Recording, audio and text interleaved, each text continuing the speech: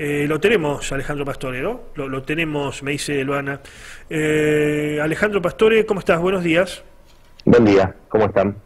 Bien, gracias por atendernos. Eh, Alejandro Pastore es presidente del Paseo Pellegrini de la ciudad de Rosario y ha sacado un comunicado del Paseo Pellegrini que, recién mencionábamos, pero primero y principal, sacó un, estudio, el INDEC, que es lo que habitualmente mide mes a mes, y mientras a nivel nacional el nivel de desempleo eh, da un 17, perdón, un 13,1%, aquí en Rosario da 17,9%.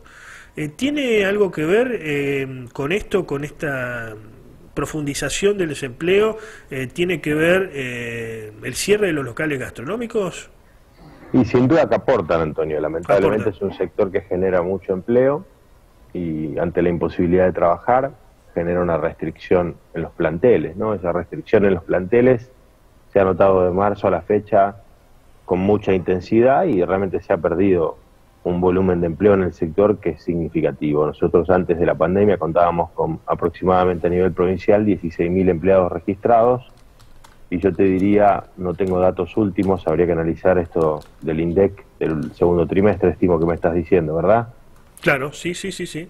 bueno, no, no, no teníamos esa información todavía, pero claramente debemos haber impactado muy fuerte en un 30, en un 20% como mínimo en el total de las nóminas, ¿no? Por lo menos lo que uno ve eh, cuando hace una recorrida sobre cómo han quedado los planteles en cada uno de los negocios. Y además, bueno, todo el impacto que tiene colateralmente, ¿no? Las fábricas de cerveza, los distribuidores de fiambre, de descartables, eh, los mismos las mismas verdulerías, bueno, todo lo que tiene que ver con la cadena de aprovisionamiento nuestro y que también está sensiblemente golpeada a partir de la inactividad.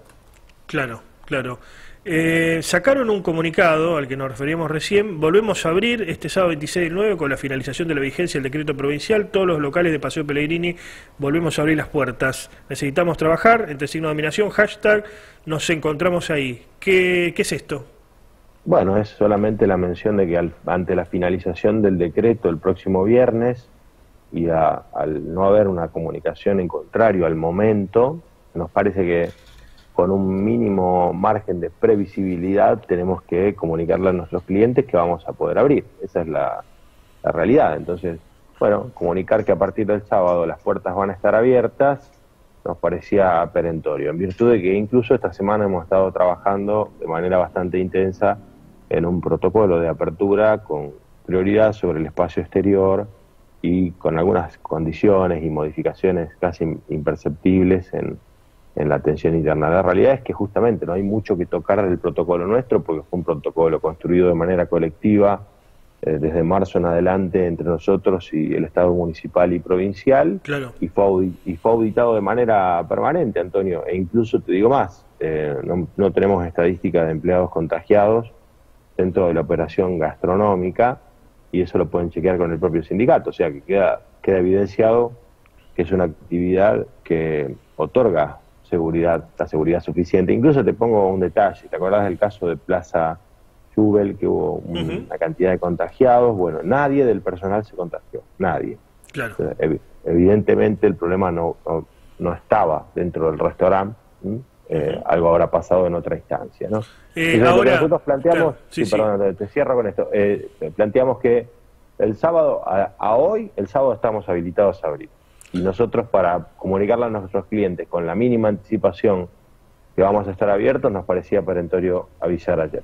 ¿Qué les dijeron las autoridades, tanto a nivel provincial, del gobierno de Mar Perotti, como del gobierno de Pablo Hawking a nivel municipal? Porque por el número de casos no estamos muy diferentes a la semana anterior, ¿no? Hay que, hay que decirlo esto.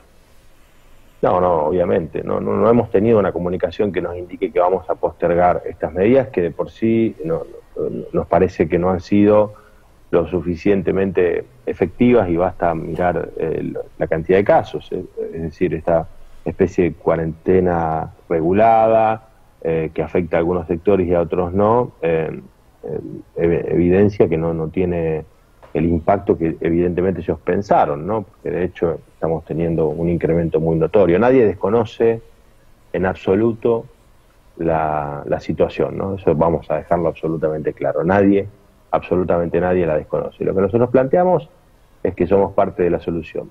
Hay un encuentro social que se da de manera clandestina y en parques, lo vemos todos, se hace sin protocolo.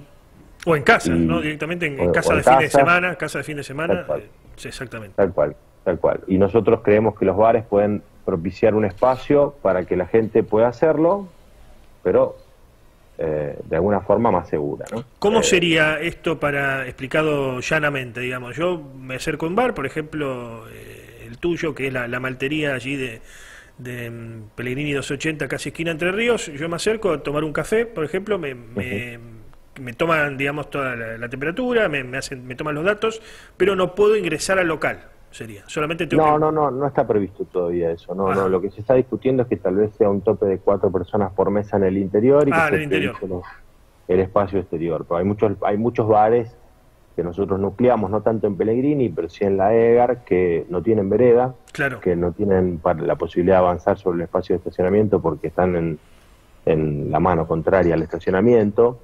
Y bueno, la realidad es que eh, nos parece a nosotros que restringirlo solamente al exterior eh, no- dejaba mucha gente afuera. De cualquier manera, nosotros estamos abiertos a cualquier tipo de propuesta, estamos siempre eh, con la necesidad de escuchar y la realidad es esta, Antonio. Si, eh, nosotros hemos hablado mucho del paquete de medidas económicas a nivel nacional y provincial, que todavía se hace un poco esperar. Si nosotros no contamos con las herramientas para sostenernos, no nos queda otra que pedir trabajar.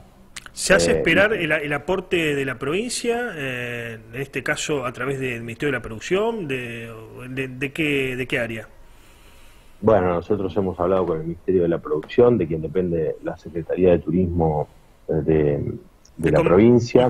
Eh, lo, lo hacemos con el, el convencimiento que de allí puede haber recursos suficientes como para poder auxiliar al sector. Bueno, estamos todavía en tratativas, honestamente son tratativas muy desgastantes. porque ¿Se, se podría dar un, un ATP provincial, por ejemplo? Eh, Podría estaría- ser una opción. Eh, Nosotros desde marzo a esta parte venimos pidiendo eso, Antonio. Van Claro. a ser prácticamente nueve meses, ¿no? Nueve de meses. hecho ya pasaron nueve meses. Eh, y la necesidad de medidas es urgente. Entonces, bueno, si las medidas no aparecen, eh, la única herramienta que nos queda para no quebrar de manera colectiva es intentar abrir. Entonces, por eso lo estamos comunicando, no lo hacemos en rebeldía, lo hacemos amparados en que hay un decreto que finaliza el día viernes y que por ende nos permite a nosotros comunicar que el sábado vamos a estar eh, abriendo las puertas y además con la necesidad, insisto, de plantear que no puede seguir habiendo un corte, una división de fases entre nuestra sociedad, donde hay parte de una sociedad que cree que convive fase 4 y 5 y se sigue reuniendo y no respeta protocolos y lo hace en el espacio público. Y después hay un montón de sectores, el sector de la salud, el sector de los comercios no esenciales, nosotros, muchos profesionales que convivimos en fase 1 y 2. Bueno, esta diferencia hay que corregirla, yo estimo que se puede corregir hacia adelante, avanzando con actividades protocolizadas, ¿sí? creo que es el nuevo camino, eh, porque las restricciones evidencian, evidente, digamos, de, forma muy contundente que no tienen la firmeza suficiente como para poder dar resultados, ¿no? Y, a- y a los números nos remitimos. Así que seguimos en contacto, en diálogo con la provincia y con el municipio. Por ahora lo que hacemos es comunicarle con la anticipación mínima que nos parece y que nos gustaría a nosotros recibir por parte de nuestros clientes que vamos a estar abiertos. Muchas gracias por el contacto, Alejandro. A ustedes, Antonio, abrazo grande. Adiós.